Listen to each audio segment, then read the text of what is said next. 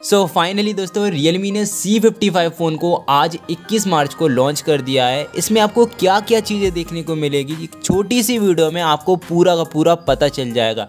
सबसे पहले चालू करते हैं डिस्प्ले से। डिस्प्ले मिलती है 6.72 इंचेस की एक बहुत बड़ी डिस्प्ले है। अगर आप लोग दस हज़ार ग्यारह हज़ार के प्राइस से देखें 6.72 इंचेस की डिस्प्ले बहुत ही मस्त है।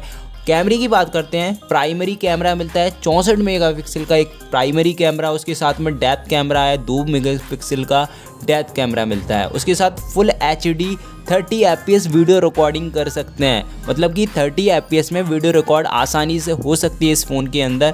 फ्रंट कैमरा मतलब कि दोस्तों, अगर हम सेल्फ़ी कैमरे की बात करें 8 मेगापिक्सल का एक सेल्फ़ी कैमरा मिलता है इसमें। स्टोरेज की बात करें, तीन आपको इसमें वेरिएंट मिलेंगे, जो कि चार जी रहेगा, एक चार जी रैम वाला रहेगा, चौंसठ जी स्टोरेज उसका प्राइस है ग्यारह हज़ार रुपये छः चौंसठ वाले का प्राइस है बारह हज़ार और आठ एक सौ अट्ठाईस वाले का प्राइस है चौदह हज़ार। ये पूरे के पूरे आपको वेरिएंट इसमें मिल जाते हैं। इसके बाद अगर बैटरी लाइफ की बात करते हैं, पाँच हज़ार एम की बैटरी मिलती है, काफ़ी अच्छी बैटरी लाइफ काफ़ी अच्छी देखने को मिलती है। दस हज़ार के प्राइस में अगर हम बात करते हैं और पाँच हज़ार एम की बैटरी तैतीस वॉट के सुपर वुक चार्जिंग से चार्ज होगी और इसमें आपको दो कलर मिलेंगे।